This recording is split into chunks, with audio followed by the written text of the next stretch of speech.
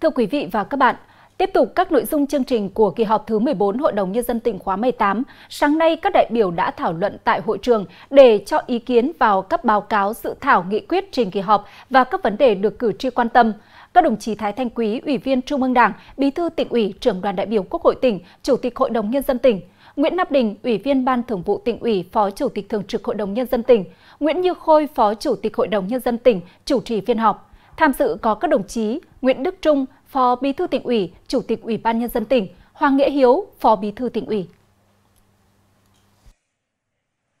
Mở đầu phiên họp, Tổ trưởng 4 tổ thảo luận đã báo cáo tổng hợp ý kiến thảo luận, góp ý trong phiên thảo luận tại tổ chiều qua.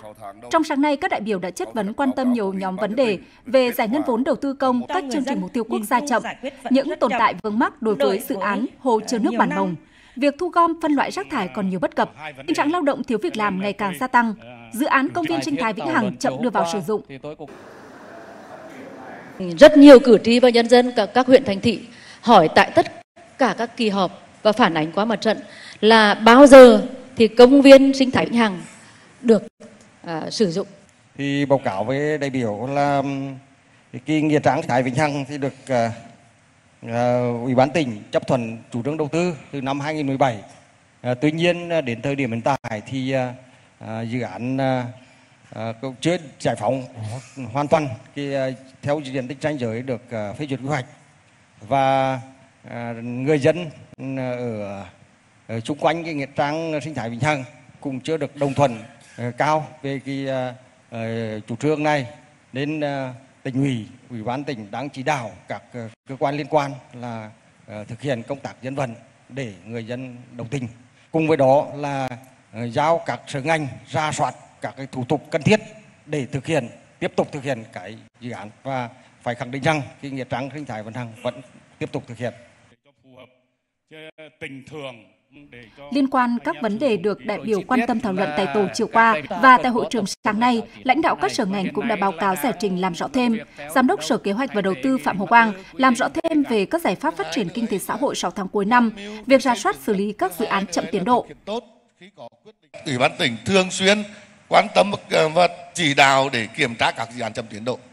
Thì chúng tôi phải nói rằng là Ủy ban tỉnh cũng rất quyết liệt để chấm dứt các dự án mà không triển khai thực hiện nhưng tuy nhiên ấy, cũng báo cáo với các vị đại biểu hội đồng rằng ấy, có nhiều dự án cũng rất khó xử lý trong cái quá trình kiểm tra chậm tiến độ. Đặc biệt các cái dự án mà đã xây dựng lên rồi gần hoàn thành rồi nhưng có nhiều cái vấn đề trong xử lý. Thì cái này là tỉnh cũng phải từng dự án một tháo gỡ và mỗi dự án nó có một cái đặc thù riêng. Do đó cho nên cùng tháo gỡ xử lý cũng rất rất nhiều thời gian và rất nhiều khó khăn. Thì chúng tôi đang tập trung lãnh đạo văn tỉnh đang tập trung chỉ đạo các sở ban ngành để phối hợp để làm thế nào? Thứ nhất là uh, đưa các cái dự án vào phát huy các hiệu quả. Những dự án chậm thì cương quyết là chấm dứt theo đúng quy định của pháp luật. Khó khăn về các thị trường.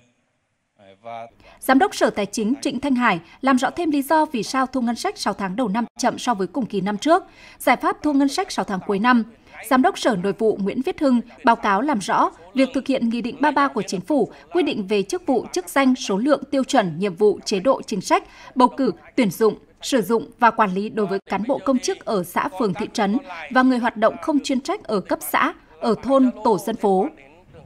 Về việc thực hiện tuyển dụng giáo viên, nhất là giáo viên mầm non hợp đồng, lao động theo Nghị định số 06-2018, triển khai thực hiện còn chậm. Thế đến nay là có 9 huyện đã tuyển xong cái số lượng là giáo viên hợp đồng theo thông tư 09 và nghị định 06 với khoảng 650 người. Còn các huyện còn lại thì được được chủ tịch bán tỉnh là ban hành các cái quyết định về phê duyệt cái quy hoạch để ờ, kế hoạch để thực hiện tuyển dụng. Và đến nay các huyện còn lại đang triển khai việc thu nhận hồ sơ và thực hiện các cái bước để tuyển dụng. Và cũng à, dự kiến là trước năm học thì có thể tuyển dụng xong. Liên quan đến việc này thì bây giờ bảo là ờ, trách nhiệm thuộc về ai? Thì trước hết thì báo cáo cả đồng chí là, và đại biểu hội đồng và cử tri tỉnh nhà là sở nội vụ với trách nhiệm tham mưu ủy ban tỉnh tỉnh ủy ban tỉnh về cái việc là tổ chức thực hiện thi công tác tổ chức bộ máy biên chế thì trước hết sở nội vụ cũng phải nhận trách nhiệm trong cái việc là đôn đốc trong cái việc là là là chỉ đạo. Tuy nhiên thì báo cáo quý vị rằng cái việc này thì như vậy nhưng mà sở nội vụ có cái một cái à, trang zalo liên quan đến trưởng phòng nội vụ tất cả các quyền thường, thường xuyên đôn đốc. Thứ hai là có các cái công văn là định kỳ như vậy là có công văn là có đề nghị tất cả các cái ngành các quyền thành thị là có vấn đề gì liên quan đến khó khó khăn của trong ngành nội vụ thì trao đổi để chúng tôi trao đổi với liên quan đến cái việc tuyển dụng này thì cũng chưa nhận được cái, cái gì mà nó mắc ở cả. Thế đấy còn đó là cái ờ, trách nhiệm của sở nội vụ. Còn trách nhiệm của cơ sở thì báo cáo vì là thực ra là cái việc xây dựng kế hoạch ở dưới cơ sở có nhiều huyện rất là chậm. Ý của chủ tòa kỳ họp. Về giải pháp giải quyết việc làm cho lao động bị mất việc làm từ các địa phương khác trở về quê, Giám đốc Sở Lao động Thương binh và Xã hội Đoàn Hồng Vũ cho biết. Và giảm nhẹ so với cùng kỳ năm ngoái. Chúng ta phải bằng nhiều cách để đào tạo, nâng cao cái kỹ năng nghề cho người lao động. Cần tăng cường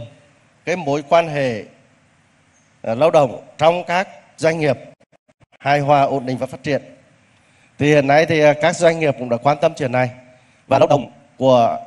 à, chúng ta làm việc ở các doanh nghiệp trong tỉnh thì cũng đã được hưởng mức thu nhập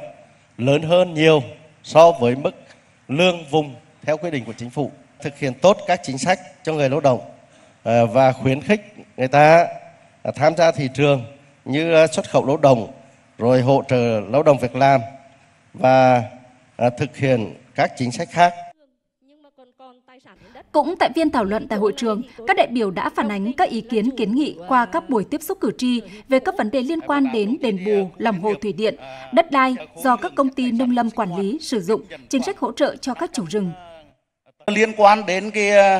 à, đất của công ty chè, à, thì báo cáo với à, các đồng chí thì ờ, đất của công ty chè thì có như là à, huyện Con Cuông cũng đó có văn bản báo cáo ủy ban dân tỉnh. À, ủy ban dân tỉnh cũng giao cho là sở tài nguyên môi trường sở nông nghiệp phát triển nông thôn. Đấy, hiện nay là à, sở tài nguyên môi trường và sở nông nghiệp phát triển nông thôn đang yêu cầu công ty chè à, sắp xếp lại cái phương án sử dụng đất. À, trên cơ sở cái à, ủy ban dân tỉnh à, quyết định phê duyệt cái phương án sắp xếp lại sử dụng đất. Ờ, của công ty chè thì để mới có cơ sở cái thu hồi để bàn giao lại cho là ờ, địa phương quản lý để phục vụ cái phát triển kinh tế à, xã hội của địa phương. Và trên cơ sở cái ờ, quân cuông cũng báo cáo công ty chè cũng có một số cái vi phạm trong cái vấn đề sử dụng đất. Thì sở tài nguyên môi trường cũng đã có cái văn bản số 42 à, 83 ngày 27 tháng 6 năm 2023 để hướng dẫn cho con cuông trong vấn đề xử lý à, các cái hành vi vi phạm của công ty chè. À, sử dụng đất trên địa bàn huyện Con Cuông. Chính sách chúng ta thiết kế là hướng đến cho cái chủ quản lý bảo vệ rừng.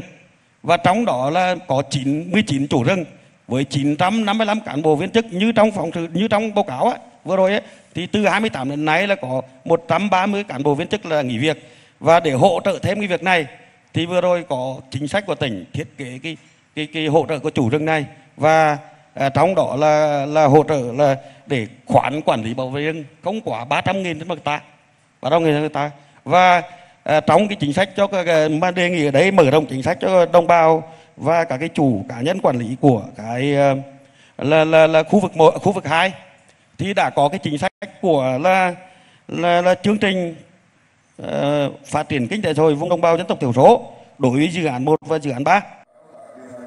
Cũng trong sáng nay, Giám đốc các sở giao thông vận tải, công thương, du lịch cũng đã giải trình một số vấn đề mà đại biểu cử tri quan tâm, trong đó đáng chú ý là giải pháp để phát triển hạ tầng giao thông nông thôn xuống cấp, hạ tầng du lịch để thu hút khách, giải quyết hệ lụy phát sinh từ thủy điện, chính sách phân khai nguồn thu khai thác khoáng sản cho các địa phương có mỏ tài nguyên. Qua đường dây điện thoại trực tuyến trong chiều qua và sáng nay, kỳ họp đã nhận được 38 lượt ý kiến phản ánh kiến nghị của cử tri với 37 vấn đề thuộc 7 lĩnh vực. Sau kỳ họp này, Thường trực Hội đồng Nhân dân tỉnh sẽ tổng hợp truyền ý kiến kiến nghị của các cử tri đến Ủy ban Nhân dân tỉnh, các sở ngành địa phương để xem xét giải quyết theo thẩm quyền và thông báo để cử tri được biết.